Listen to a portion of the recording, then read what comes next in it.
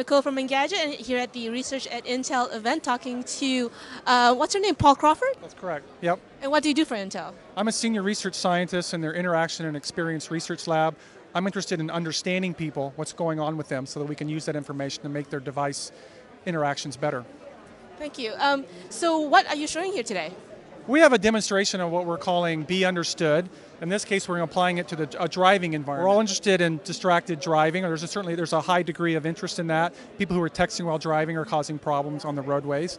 And there's a couple of different pieces of distraction. One is visual distraction, which is sort of self-evident. If you're not looking at the road, that's a bad thing. And there's tools out there today that people are using to sort of measure that scientifically.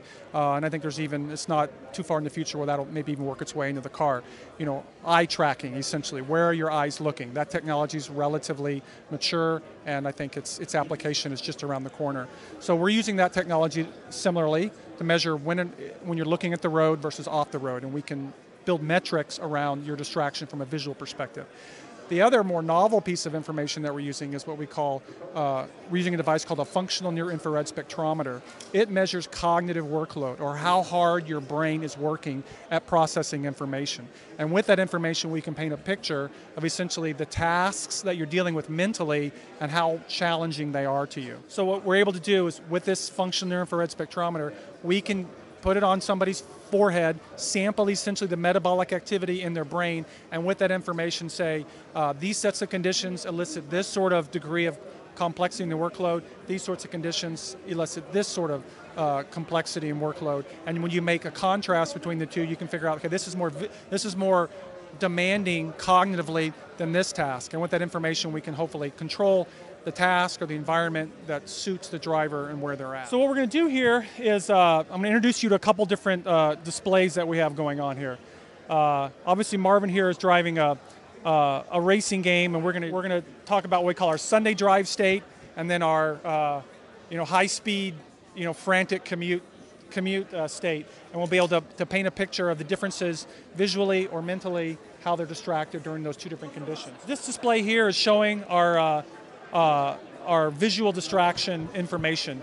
Uh, you can see here, uh, this is, the, this is a, a real-time feed of, of Marvin's eyes and it's using uh, reflections and the geometry of the cameras and the light emitters and the reflections off of them to, to be able to track his eyes in real time. These green lines here are basically where his eyes are looking. The center channel is basically this center monitor.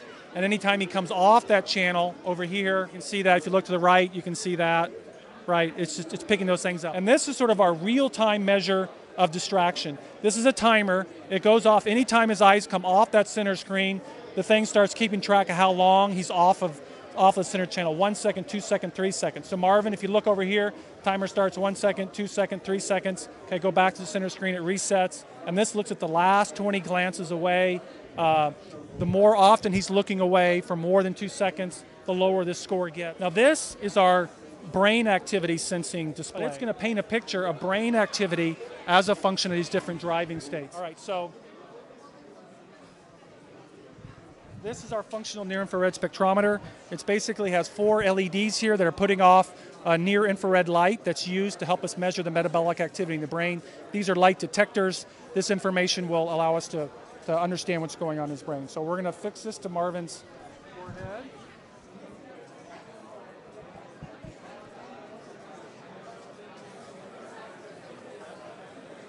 Activity.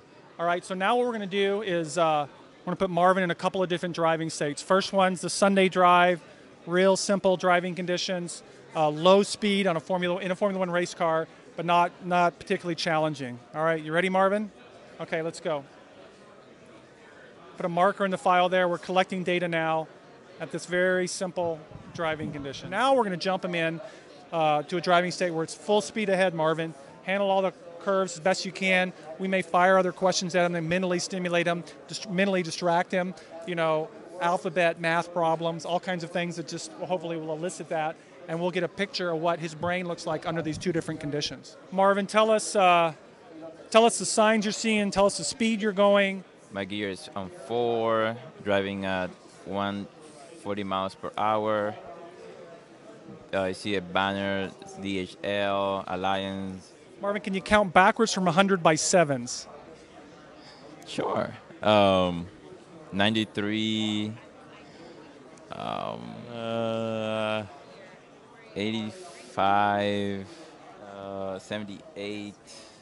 Let's process this data and see what we get. If you look at uh, this is the the the brain, the picture of the brain and the hot spots of the brain in the in the really in the Sunday drive. As you can see, we could change the scale here and show some areas where there was some uh, levels of activity, but, but based on this scale, it's basically a very simple presentation of the fact that he's not asking a lot of his brain when he's doing the Sunday drive.